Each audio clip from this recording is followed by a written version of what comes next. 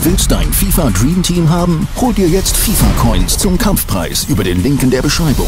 Nur beim Marktführer MMOGA. Und damit ein herzlich willkommen zu einer neuen Folge Let's Play FIFA 15 Ultimate Team. Und diese Elf muss jetzt richten. De Bruyne, ich als Perfektionist, jetzt von ZOM auf ZM angepasst, hat sich bei mir ähm, im Team festgespielt. Wenn wir mal auf seine Statistiken schauen, 21 Spiele, 2 Tore, 2, äh, 4 Vorlagen, sicher noch ausbaufähig, aber vielleicht ist auch eher ein bisschen schüchtern. Schauen wir mal Spaß haben noch Robben rein, der dreht richtig auf. 29 Spiele, 11 Tore und 15 Vorlagen an 26 Toren in 29 Spielen beteiligt. Ich denke, das lässt sich sehen. Und jetzt wird es ganz entscheidend. Wir haben 13 Punkte in Liga gesichert. Ihr wart im letzten Spiel dabei. Und ja, ich brauche jetzt aus den letzten zwei Spielen zwei Siege, damit ich aufsteige in Liga 2. Ansonsten, wenn es jetzt eine Unentschieden oder Niederlage wird, ähm, heißt das Liga halten, was auch schon mal okay wäre. Hier haben wir jemanden mit einer schwachen Latenz, das ist nicht okay. Da gehen wir gleich nochmal zurück. Die letzten Spiele ja wirklich Glück gehabt, dass es hauptsächlich Gegner waren, ähm, wo das Ganze Gott sei Dank flüssig gelaufen ist, wo es keine größeren Ruckler, Hänger, Abbrüche oder sonst was gab. Und hier, nee, gegen den spielen wir nicht. Aller guten Dinge sind drei. Und wenn es nicht klappt jetzt, dann gibt's, dann gibt's einen kleinen Cut. Da haben wir welche sich mal beschwert, aber ich fühle ja doch, wie ich finde, diese Suche immer möglichst gut mit Informationen und Insider-Infos. Ich bin gerade am überlegen, ob es ja, Schürle, Inform, oh, sowas haben noch gerne. Hier komplett, komplett grüne Leitung. Und schauen wir mal, Franzosen, 81er Rating, Argentinier, Tevez hat er hier, Salvio, ähm, Lavezzi und dann Mascherano, Zabaleta und bei den restlichen bin ich leider der falsche Ansprechpartner. Keeper kenne ich noch vom Sehen, aber die Namen leider nicht. Also vom Team, wenn man nur danach geht, ist meins deutlich besser aufgestellt, aber gerade das muss nichts heißen. Ich habe wirklich oft die Erfahrung gemacht, dass gerade Leute mit eher schwächeren Teams ähm, oft richtig, richtig stark spielen und er lässt es hier in den ersten Sekunden den Ball schon mal sehr, sehr gut laufen. Hier einfach als Tipp, Ball laufen lassen, macht keine Lücken auf, ähm, lasst ihn das Ding hin und her schieben, solange er da keinen enormen Raumgewinn hat oder solche Pässe dann am Ende macht, wenn es in den finalen Bereich geht, ist noch alles okay. Weil das wollen sie eigentlich. Sie wollen nicht am Ende durch das Passspiel nur nach vorne locken. Das kann ich natürlich auch, wenn er das möchte. Ähm, und den Ball hier entspannt ein bisschen laufen lassen. Und dann warten, ja, bis die entscheidende Lücke kommt. Und De Bruyne bleibt am Schiri hängen, aber kriegt Gott sei Dank den Ball. Und Schweini hier im Mittelfeld auf Arjen Robben. Und De Bruyne startet, äh, Lever startet. So können wir starten, oder? Würde ich doch mal behaupten hier. Erster Angriff, schön durchkombiniert, durchgesteckt, Robben mit der Vorlage. Gleich die nächste und Lever den Keeper umkurft und ein easy Abschluss. Eine Wiederholung gönnen wir uns. Robben, schöner Pass. Hier einmal rübergelegt und reingeschoben. Sehr, sehr schön. 1-0. Nach 6 Minuten. Und die mag ich ja gar nicht, die dann nach dem Anpfiff hier durchrennen und dann oft damit auch Glück haben. Hier Gott sei Dank nicht. Und einfach jetzt am besten so weitermachen. Möglichst schnell noch ein 2-0 hinterher, um ein bisschen Ruhe reinkommen zu lassen. Das wäre das ähm, Nonplusultra. Aber ja, das sagt sich natürlich auch oft leichter, als es dann am Ende ist. Schweini mit dem Ballverlust. Aber wird ein Foul von vorher noch gepfiffen und... Nein, keine gelbe Karte. So, und jetzt schauen wir mal, auf wen wir hier durchstecken. Hier. Das schaut auch gut aus, der gute Lever. Aber da hätten wir dann entgegen müssen. Dann eben Reus über den Flügel. Probieren wir es mal mit einer Flanke. Aber die ging ins Niemandsland. Und ja, mit Tevez und Salvio hat er auf alle Fälle zwei am Start mit ordentlich Pace. Also da äh, muss ich aufpassen. Salvio, 89er Pace. Ich hatte eine Zeit lang auf meinem Tauschstapel und wollte ihn überteuert anbieten. Kann euch aber von dem abraten. Der hat sich wirklich ähm, überhaupt nicht verkauft. Aber er hat ganz nette Stats. Insgesamt nur ein 80er Rating. Ja, ich weiß nicht, ob er, ob er so beliebt ist. Ähm, ich habe, glaube ich, noch nie gegen ihn gespielt. Also ist hier Premiere. Und De Bruyne mit dem Ballverlust. Aber Robben hilft hinten aus. Und Lahm möchte hier vorne mitspielen. Aber zu leichte Ballverluste. Hier ist aktuell im Mittelfeld. Und das ist so ein typischer schneller Spieler im Sturmpass. Gott sei Dank im Keim erstickt. Aber die Angriffsarmada rollt noch. Schweine hilft aber aus. Sehr, sehr schön. So, wir lassen auch den Ball jetzt hier nochmal schön laufen. Und Reus über den Flügel. Radar gecheckt und in diesem Moment den Ball verloren. Das sollte nicht passieren. Und der nächste lange Ball. Keeper, easy. Und mit Lavezzi, ja, hat er natürlich auch enormen Pace. Den vorher hier bei meiner Angriffanalyse während des Spiels ganz außer Acht gelassen. Passgenauigkeit beide über 80%. Keeper lässt sich schön tunneln. Äh, Keeper. Schiri. Und hier haben wir Robben am Start. De Bruyne. Und ja, der Ball läuft gerade richtig gut. Und der war mit Ansage der Pass natürlich. Da konnte er, da konnte er es leicht zumachen. Und solche Bälle, wie ich sie hasse. Aber David ist am Start. Wunderschön. Keine Gefahr. Und, die, und der nächste lange Ball auf Salvio. Und direkte Flanke. Oh, wow, wow. Ungefährlich. Glück gehabt. Zweite Pfosten, Piszczek. Sah nicht ganz so gut aus. Und ich muss ehrlich sagen, auch wenn die Liga schon gehalten ist, ich möchte den Sieg unbedingt und ich bin recht angespannt. So, jetzt mal mit Robben. Gegen Mascherano. Adios, muchachos. Aber das sagt er sich auch. Und schönes Tackling im 16er. Und mit Lavezzi zieht er hier rein. Hummels bleibt am eigenen Mann hängen. An De Bruyne. Und das hasse ich so an diesen Pace-Spielern. Boah, Neuer lässt droppen. Aber Boa klärt gerade so nochmal. Und Robben er läuft den leider nicht mehr.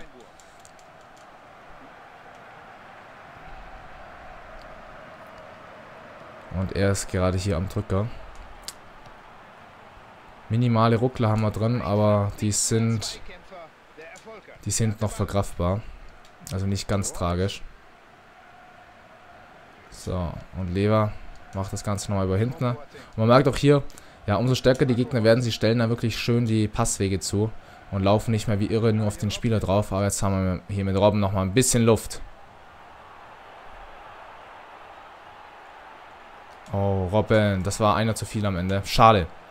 Schön vorbeigekommen, aber dann war auch keine Anspielstation in der Mitte.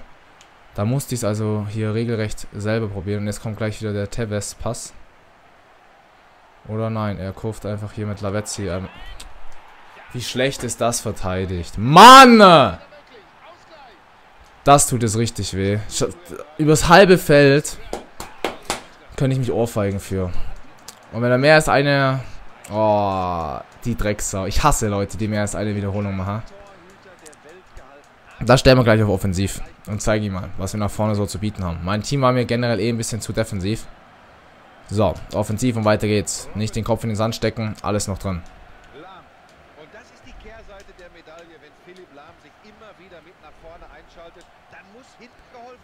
So, hier wieder Robben. Aber er steht hinten schon sehr, sehr kompakt. Von daher müssen wir da kein Abseits. Schön kombiniert. Aber Lever, was war denn das? Ball wie ein Holzer geführt.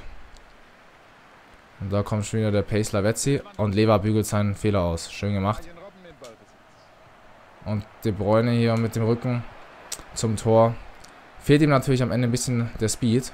Aber schneller Ballverlust seinerseits und auch wieder meinerseits. Aber Alaba blockt den schön ab. Uiuiui, es ist hier zerfahrenes Spiel. Und Alaba darf gegen Salvio wieder seinen Skill zeigen. Und macht das auch. Zwar mit einer Ecke, aber immerhin geklärt. Jetzt noch zur Halbzeit bestmöglich nicht noch in Rückstand geraten. Das wäre besonders ärgerlich.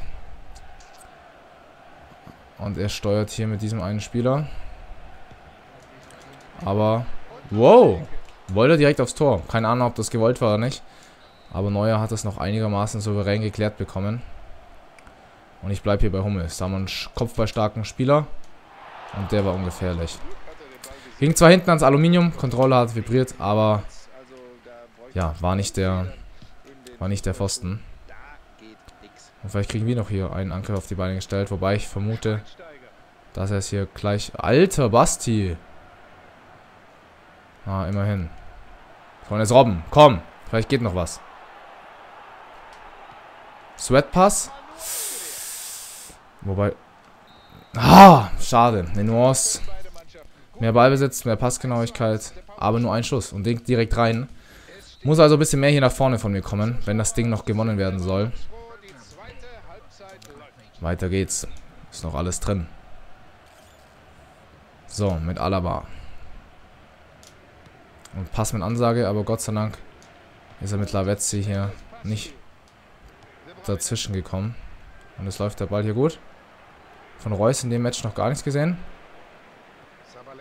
Und auch der war mit Ansage, aber lahm. Doch, jetzt hat er ihn. Mit Reus zusammen und mit Reus. Auf Lever. Und Reus wieder mit der Balleroberung.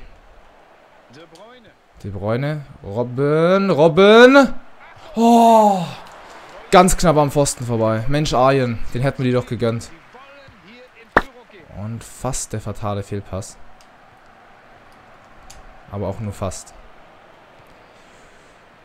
Und schlechte Grätsche. Aber Hummels hat das gelesen. Und hier haben wir Robben am Start. So.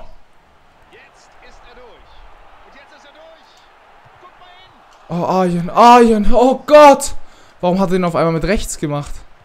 Fuck, solche Chancen muss man halt nutzen. Aber ich sehe es mal hier als Ansporn, dass es gerade läuft. Schön kombiniert, aber letzte Pass zu lang. Eieiei. Solche Chancen darf man, darf man in so wichtigen Spielen nicht liegen lassen. Und Schweinsteiger mega träge. Aber den kriegt er dann zumindest wieder. Und hier Reus. Bisschen zu lange für die Ballannahme gebraucht. Aber er hat ihn schon wieder. Und schaut euch das an, es behindert er sich hier dreifach. Und das machen wir ganz schnell. Das machen wir ganz schnell eher auf die Linie stellen kann. Wobei die Distanz fast ein bisschen zu groß ist. Gelbe Karte für Zabaleta. Scheint hier echt eine Argentinier, ja. Der war zu leicht, scheiße. So nicht. Schwacher Freistoß. Und der durchkurft einmal den Strafraum und gibt mir dann direkt den Ball wieder.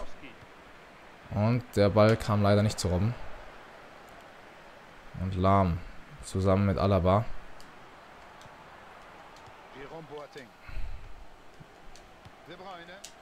Und mal ein langer Ball auf Lever, der dann vielleicht wieder gleich zurücklegen kann. Das war der Plan. Und oben Robben. Komm jetzt Ayen. Alter! Das gibt's doch nicht. Was ich lasse ich da als Chancen liegen. Roulette. Oh, und geblockt. Jetzt leck mich mal. Ich bin hier auf 180. Wieder Lever. Und Hummels. Und nochmal Lever. Kein Kommentar. Winkel zwar spitz, aber jetzt bin ich gerade gut am Drücker. Ich muss die Drangphase hier nutzen. Er peitscht seine Spieler nach vorne. Macht den langen Abstoß. Aber fängt Piszczek direkt ab. Und Lever kriegt den nicht.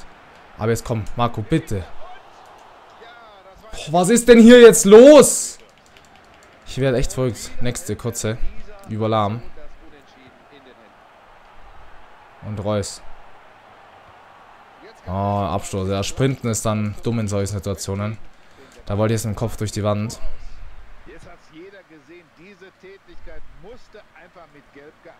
Und irgendjemand hat Geld bekommen und es war abseits.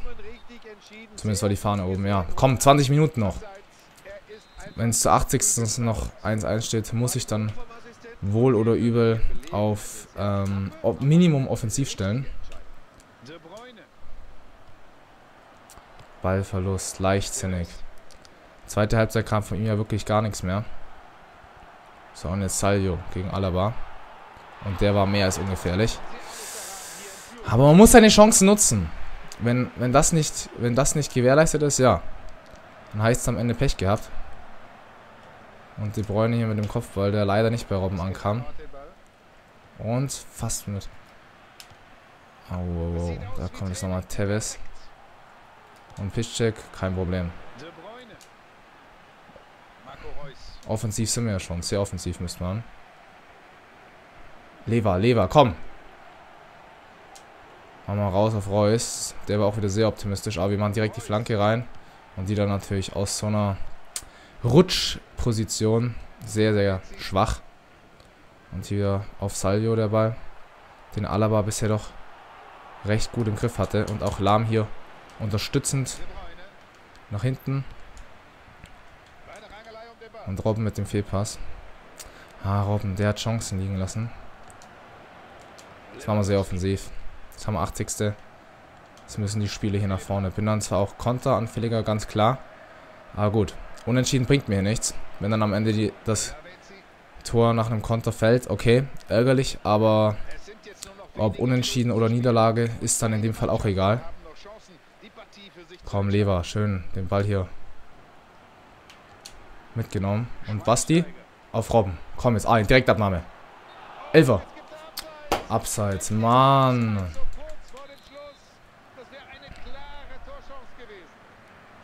Oh, komm, totale Offensive. Ich muss alles, es muss alles nach vorne. Es muss eine schnelle Balleroberung her. Alaba gegen Salvio. Und Einwurf für ihn, okay.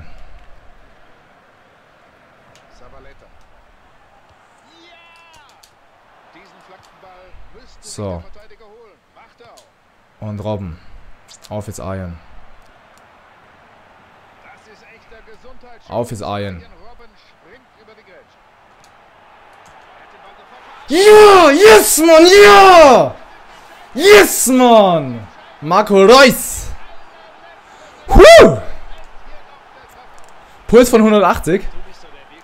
Robben, zweite Vorlage im Spiel. Nach hinten gelegt. Und Direktabnahme. Und jetzt müssen wir, was machen wir? Sehr defensiv. Oh, ist nicht schon wieder hier so ein Durchtribbel-Ding.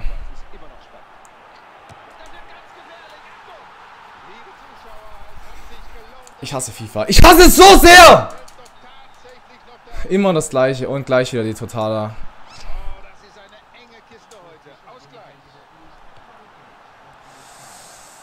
Was für ein krankes Spiel schon wieder. Ist mir schon wieder viel zu krank.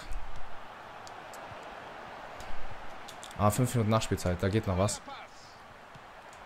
Oh, Lever. Das ist aber immer. Das, da ist er hier nach dem Anpfiff wieder durch, durchgedribbelt. Nee, oder? Neuer nochmal gehalten. Nach dem Anpfiff, Anpfiff durchgedribbelt. Und anscheinend wurde das ja mit diesem einen Patch da behoben. Aber irgendwie, ja, verhalten sich die ganzen Verteidiger wirklich wie so Spasten. Vielleicht ist noch ein Angriff. Nochmal mit Robben hier. Ach, fuck. Die Freude hielt nur kurz an. Das war's. Aufstieg AD, Liga gehalten. Schade. Ich denke und hoffe, ihr hättet es mir auch gegönnt. Ah, innerhalb von Sekunden die Aufstiegshoffnung zerstört. Ja, und ich, ich denke dann immer, hätte ich nicht auf sehr defensiv gestellt, aber gut, das hat bei dem einen Angriff auch nichts geändert. Lavetzi in der 90. Ah, ich denke, Robben könnte Spieler des Spiels sein mit zwei Torvorlagen. Jo, 8,8er Rating. Schauen wir uns mal noch die Statistiken zum Abschluss an. Mehr Schüsse, mehr Ballbesitz, mehr Passgenauigkeit, aber ein 2-2 am Ende. Zur heutigen Folge. Ich denke, es war spannend. Ich hoffe, dass es euch gefallen hat. Wenn dem so ist, lasst doch gerne einen Daumen hoch da. Wenn ihr keine mehr verpassen wollt, auch ein Abo. Würde ich mich sehr freuen. Und wir sehen uns beim nächsten Mal wieder. Macht's gut, bis dann. Ciao, ciao.